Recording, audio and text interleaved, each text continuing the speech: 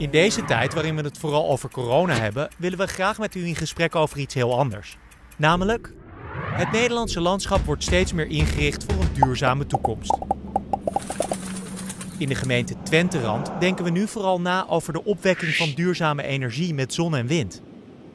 Het opwekken van duurzame energie duiden we aan met megawatturen. De Rijksoverheid heeft als doel om in 2030 in Nederland 35 terawattuur, en dat zijn 35 miljoen megawatturen, aan duurzame energie op land op te wekken met alle 30 energieregio's die ons land telt. Om dit doel te behalen zijn er naast andere energiebronnen heel veel windturbines nodig en vele hectare zonnepanelen in Nederland. Want de vraag aan de regio's richt zich vooral op zon en wind. Twente is de energieregio waar de gemeente Twenterand bij hoort.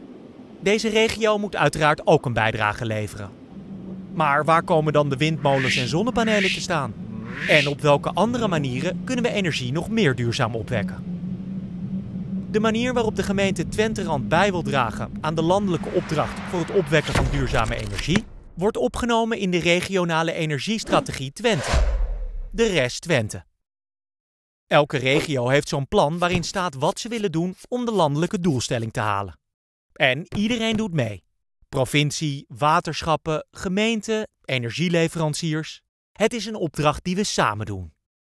Het is daarom belangrijk dat wij van u als bewoner en of ondernemer weten waar uw voorkeur ligt. Waar komen de windturbines en zonnepanelen te staan? In het open buitengebied? Langs rijkswegen? Of langs de gemeentegrenzen? En neemt u als ondernemer meer zonnepanelen op uw dak? En wilt u die energie delen? Hoe u daarover denkt, komen we graag van u te weten. Want als wij niets van u horen, wordt er voor u besloten door de Rijksoverheid. En wordt er in Den Haag bepaald of en waar bijvoorbeeld zonnepanelen en windmolens in Twenterand worden geplaatst. Praat mee en vul de peiling in via twenterand.ikpraatmee.nl.